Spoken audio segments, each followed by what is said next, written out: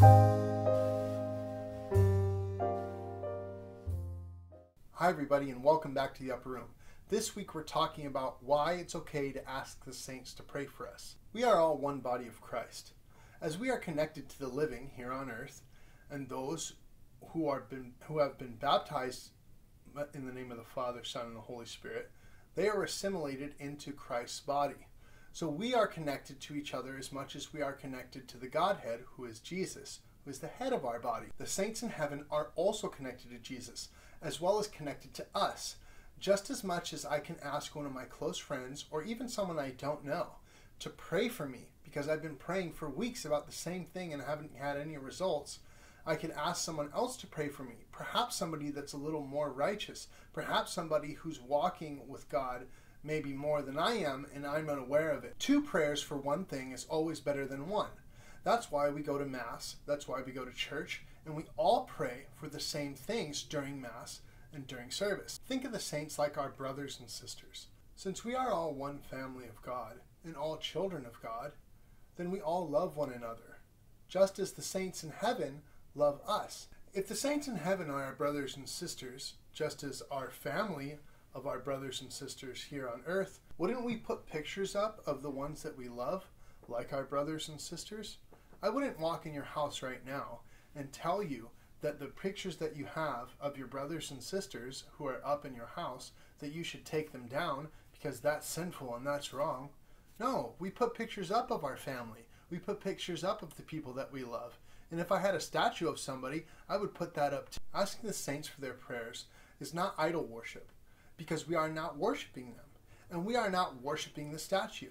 In fact, we're asking them at their grave to pray for us. When you go to a shrine of, the, of a saint, they will that there typically will be a, a relic there, typically a piece of their body, of bone, hair, or some type of their body that has been encased in glass or, or some type of marble.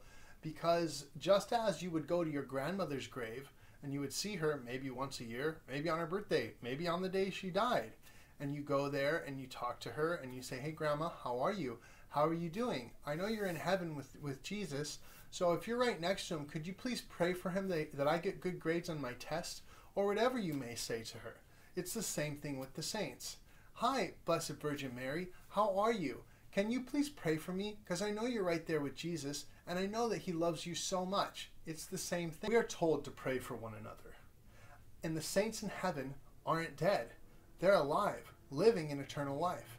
To disconnect ourselves from the family of God would be wrong and a sin in itself. That's why we include them in our spiritual life, just as Christ included them before they died. They lived and died in the name of Jesus, and they have miracles revolving around their death for people being cured from incurable diseases. That's how the Catholic Church decides someone becomes a saint. Only person that could make these miracles happen is God Himself. Think of Michelangelo or Leonardo da Vinci. When they when they painted their great masterpieces, did people go over and worship and bow down to their to their artwork and say, "Oh my gosh, you are so perfect and beautiful"? No, they they praised the artist. The artist that painted that painting. It's the same thing with the saints. The saints are God's greatest work, and there are still saints today.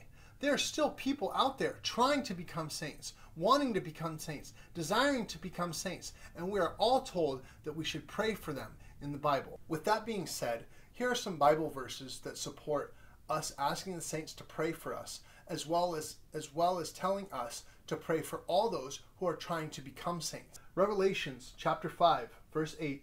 And when he had taken the book, the four beasts and twenty elders fell down before the Lamb having every one of them harps and golden vials full of odors, which are the prayers of the saints.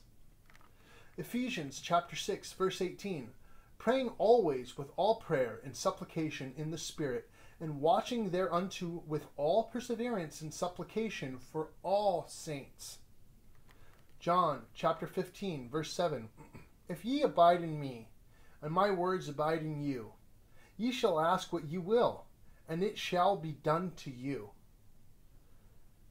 1 Timothy chapter 2, verse 1.